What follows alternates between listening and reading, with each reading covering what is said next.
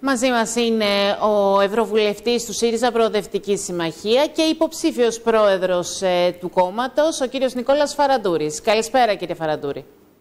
Καλή σας πέρα. Καλησπέρα τις Βρυξέλλες, όπου πριν από λίγο συναντήθηκα συναδέλφους μου επιτρόπους, χθες με τον Αντιπρόεδρο της Ευρωπαϊκής Επιτροπής και ετοιμαζόμαστε για την Ολομέλεια του Στρατβούργου και σήμερα το βράδυ πετάω για την Αθήνα, όπου θα είμαι Παρασκευή, Σάββατο, Κυριακή, Δευτέρα όπως είναι το πρόγραμμά μου κάθε εβδομάδα σε όλη την επικράτεια της χώρας και ε, την ε, εβδομάδα που μας έρχεται στην Ολομέλεια στο Στρασβούργο. Μάλιστα, φεύγετε από τις κρύες Βρυξέλλες και έρχεστε στην κρύα Ελλάδα, γιατί και εδώ έχει πέσει θερμοκρασία κύριε Φαραντούρη. Πάμε να δούμε και θέλω ένα σύντομο σχόλιο σας ε, για όσα συμβαίνουν στο ΣΥΡΙΖΑ για να μιλήσουμε για τις κινήσεις που κάνετε ως Ευρωβουλευτής και για τα προβλήματα που αντιμετωπίζει ο κόσμος, γιατί αυτά πρέπει να είναι στην ε, κορυφή της ατζέντας. Αλλά θέλω το σχόλιο σας για όσα συμβαίνουν τις τελευταίες μέρες. Ξέρω ότι δεν θέλετε να ανακατεύεστε πολύ με τις εσωκομματικές διαδικασίες, αλλά αυτό που θέλω να σας ρωτήσω είναι το εξής. Πιστεύετε ότι μετά από όλα αυτά που συμβαίνουν, από όλα αυτά που ακούγονται μεταξύ των στελεχών,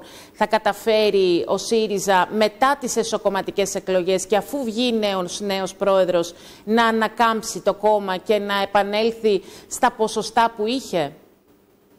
Ένα σύντομο λοιπόν σχόλιο, γιατί θέλω να συνδέσω το πλούσιο ρεπορτάζ σας για την υγεία προηγουμένως που προηγήθηκε Βεβαίως. και το ρεπορτάζ, το καλό σας ρεπορτάζ για τα ισοκομματικά του ΣΥΡΙΖΑ. Και όπως πολύ σωστά επισημαίνετε κι εσείς, νομίζω ότι τους τηλεθεατές μας τους αφορά πολύ περισσότερο το ρεπορτάζ για τον Ευαγγελισμό και τα υπόλοιπα νοσοκομεία ε, της Μαγνησίας και όλης της Ελλάδας παρά τα εσωτερικά τόσο του ΣΥΡΙΖΑ που κατά καιρούς έχουν γίνει μέχρι και ενοχλητικά για την μεγάλη πλειοψηφία όχι μόνο του δημοκρατικού προοδευτικού κόσμου αλλά και ολόκληρης της κοινωνίας. Και ξέρετε κάτι, φυσικά και θα ασχοληθώ με τα εσωκομματικά μας, αφού άλλωστε είμαι υποψήφιος πρόεδρος αυτού του κόμματος, τη φανέλα του οποίου φορώ περήφανα στις ε, Βρυξέλλες, στο Στρασβούργο, σε όλη την Ελλάδα και σε όλο τον κόσμο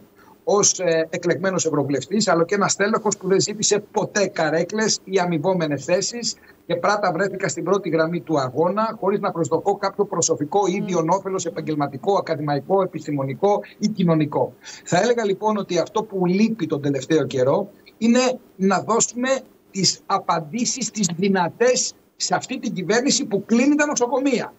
αν ο ΣΥΡΙΖΑ έχει κάποια σημασία να υπάρχει ως η αξιωματική αντιπολίτευση της χώρας, είναι για να μπορέσει να συσπυρώσει τον προοδευτικό δημοκρατικό κόσμο γύρω από πολιτικές. Γι' αυτό και εγώ επιμένω μονότονα, επίμονα, όπως επισημάνατε κι εσείς, και στην τηλεόραση και στις δημόσιες δράσεις μου και στον δημόσιο λόγο